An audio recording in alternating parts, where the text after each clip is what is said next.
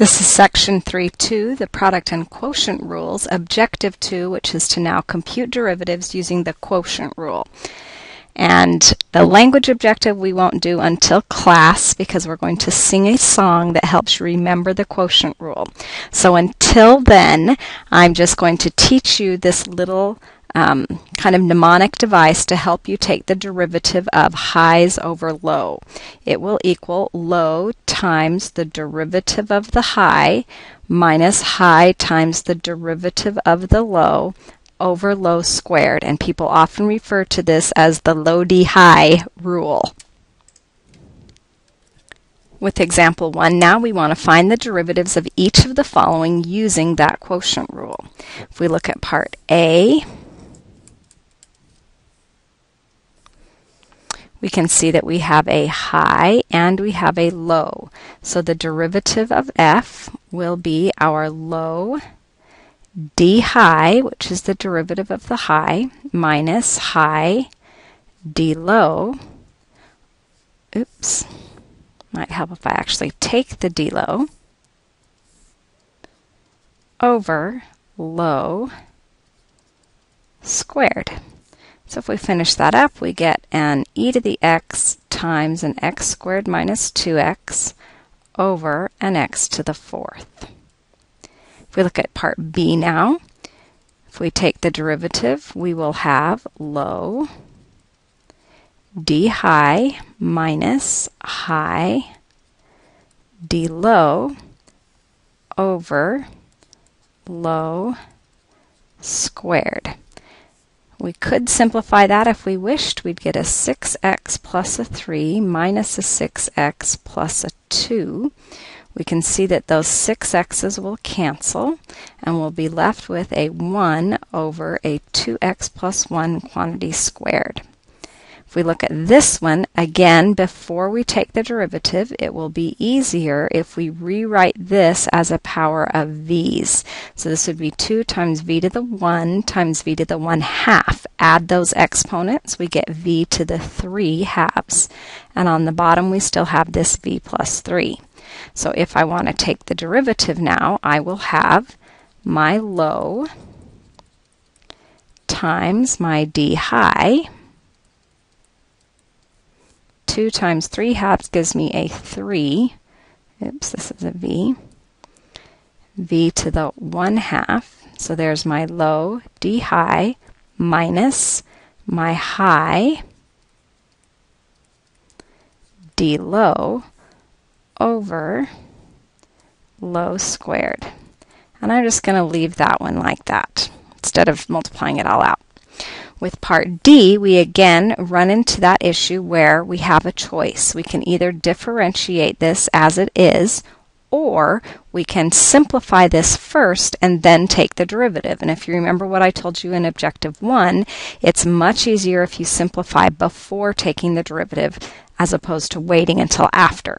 So we are going to rewrite this by making a smart choice for 1. We will alter the way this looks by multiplying by a t over a t.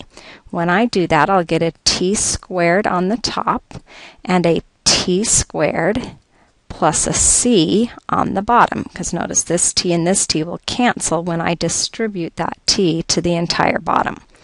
So now if I want to take the derivative, I will get r prime of t will be low d high minus high, D low. Now notice here that C will be treated as a constant because we're differentiating with respect to T. So this will become the 2T and the C will disappear. So there's low D high minus high D low over low squared. If I simplify, I have a 2t cubed plus a 2 ct minus a 2t cubed all over a t squared plus c quantity squared.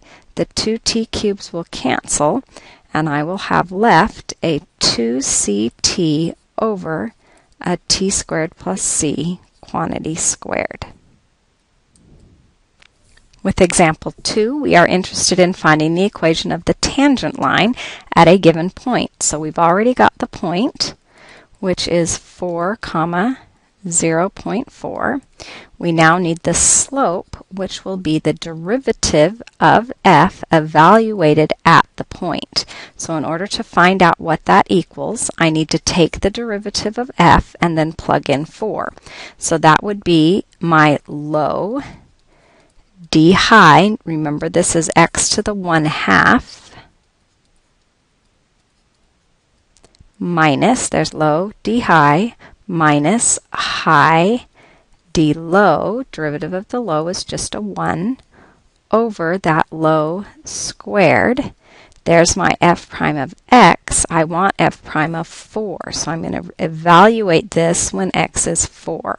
I put the 4 in, that will give me a 5 times a 1 half times a five, 4 to the negative 1 half. Well, that's a 1 over a square root of 4 minus the square root of 4 all over a 4 plus 1, which is a 5 squared.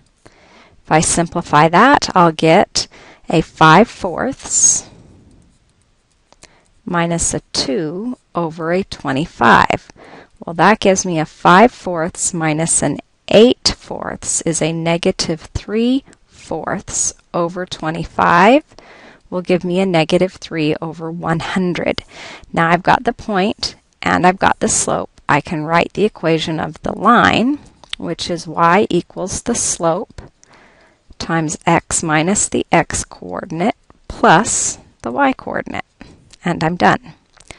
With example 3, f is a differentiable function. I want to find an expression for the derivative of this. So a little bit tricky because my low has two terms involved. So that y prime will be the low d high, derivative of f will just be f prime, minus high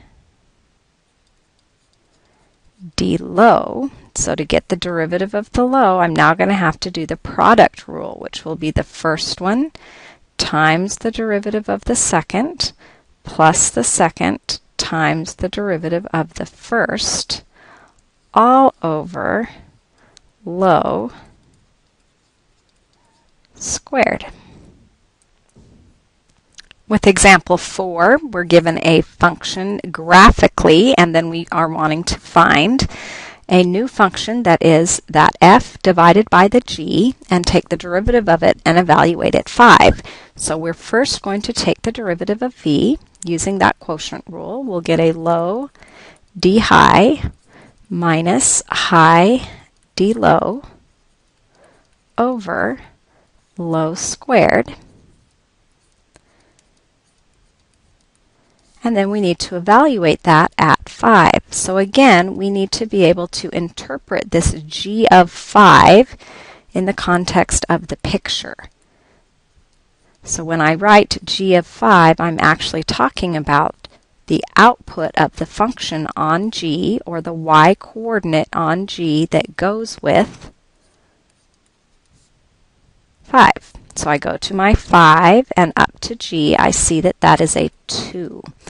f prime of 5 represents the slope of f, which is the red graph, at 5. So we can read this slope, the rise over the run, is a negative 1 third. Then we want to subtract the output of f when we plug a 5 in. That gives us a 3 and then multiply that by the slope of g at 5, which we can read is 2 over 3. Then finally, we want to divide by that g of 5, or that output of g, which was 2, squared. If I finish this up, I get a negative 2 thirds minus a 6 thirds over a 4.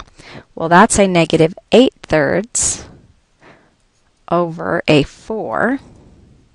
And remember, dividing by 4 is the same as multiplying by the reciprocal of 4. If we simplify now, we'll get a negative 2 thirds. With example 5, again, here's that favorite problem type coming back to haunt you. We have a point that is not on the curve, but is on the tangent line. So in order to find the point on the curve, we have to deal with the general point, which will be a, and then the output of the function with an a plugged in.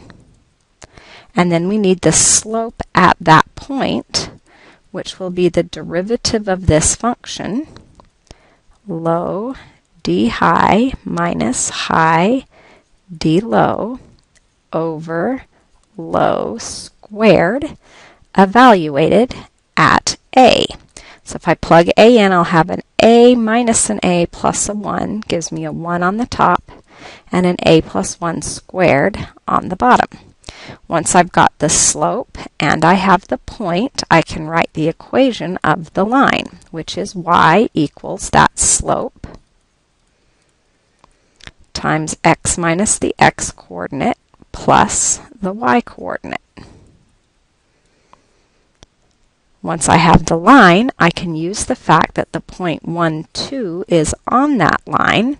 That means if I replace y with a 2, and I replace x with a 1, I should end up with a true statement. And notice that this true statement involves only a's and numbers.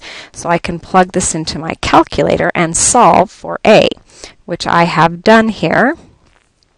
We turn it on, we can see that I've solved for when 2 equals 1 over a plus 1 squared times a 1 over a plus that y coordinate, I'm solving it for a. And when I hit enter, I ended up with a was either a negative 2 minus a root 3 or a negative 2 plus a root 3. So there's that quadratic formula being applied by the calculator. So I have the x coordinates of the points on the curve, a negative 2 plus a root 3 and a negative 2 minus a root 3. Now my job is to find the points all together. So that means I need the y coordinate as well. So if I take this x coordinate and I plug it into the function, I'll get a negative 2 plus a root 3 on top and a negative 1 plus a root 3 on the bottom because I added 1 to this input. Same thing here, I'll have a negative 2 minus a root 3 over a negative 2 minus a root 3 plus a 1 and I am done.